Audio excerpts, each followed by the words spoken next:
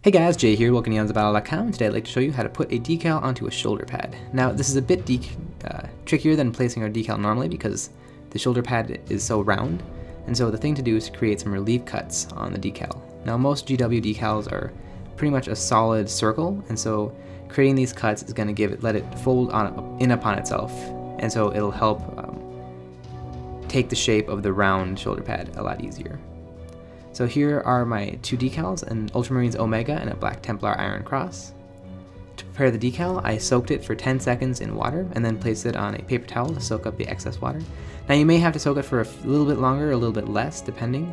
Uh, sometimes the relief cuts help hold it to the decal paper.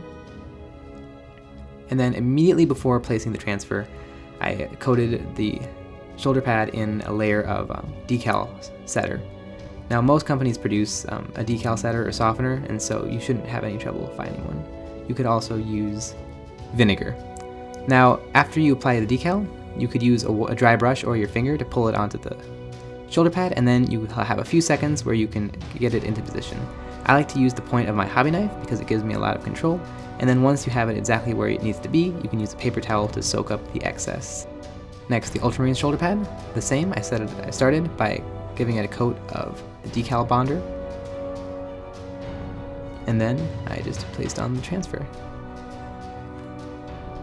Now the relief cuts will fold over on themselves, and so it'll give the, the paper a little bit more ability to touch the actual shoulder pad.